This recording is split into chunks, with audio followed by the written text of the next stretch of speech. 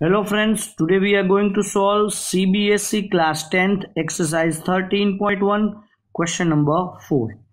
A cubical block of side 7 cm is surmounted by a hemisphere. What is the greatest diameter the hemisphere can have? Find the surface area of the solid. Means we are having a cubical block of side 7 cm. We are drawing a figure this is a box cubical box of side 7 centimeter. Is surmounted by a hemisphere. So here we are getting a hemisphere. Look here i'm drawing. This is the base of the hemisphere and this is the hemisphere. What is the greatest diameter the hemisphere can have? We know the side is 7 so from here to here the greatest diameter possible greatest diameter will be also 7 centimeter. The greatest diameter the hemisphere can have is 7 find the surface area of the solid so obtain. So surface area of solid equals to. Now we know. First we are having this all four side then the part at the downstairs and the upper part. In upper part we have to find this all corners only because this circle part is enclosed by this hemisphere so what we are going to do? First we are going to find out the total surface area of cube.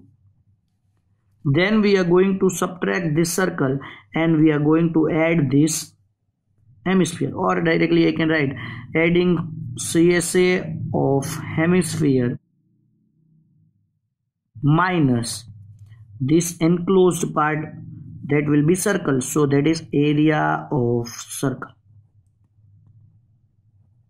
So surface area of solid is equal to TSA of cube that is 6 L square plus CSA of hemisphere that is 2 pi r square minus area of circle that is pi r square. Now we know these two are like terms 2 pi r square minus pi r square. So don't directly put out the values. First we have to solve this also. That will be 6l square plus pi r square. Now you can put the values.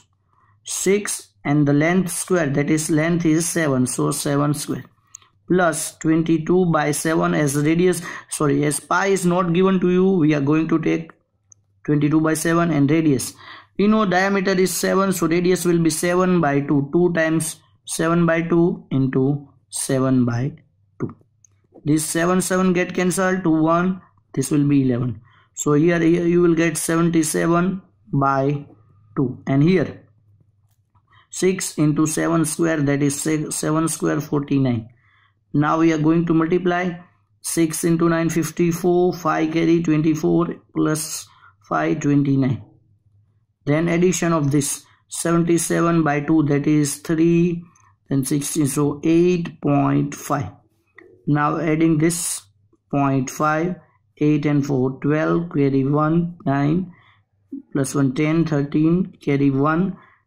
3 3 2.5 centimeters square. So this way we can find out the surface area of this solid. Thank you so much for watching my video. If you like it please subscribe to my channel. Thank you so much